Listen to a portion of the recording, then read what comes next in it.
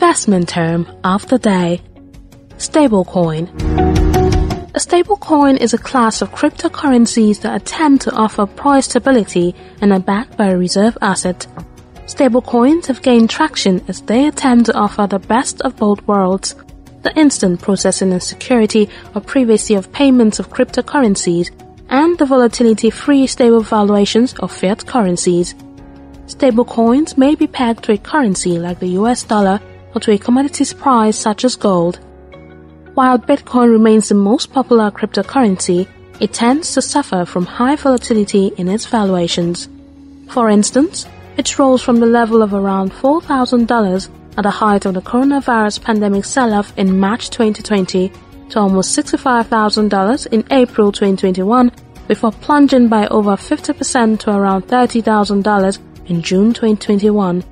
Even as intraday price swings can be wild.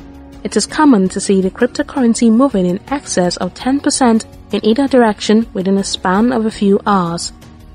This kind of short-term volatility makes Bitcoin and other popular cryptocurrencies unsuitable for everyday use by the public.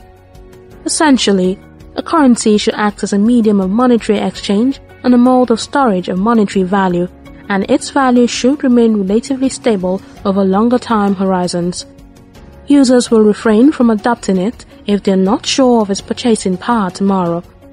Ideally, a crypto coin should maintain its purchasing power and should have the lowest possible inflation sufficient enough to encourage spending the tokens instead of saving them.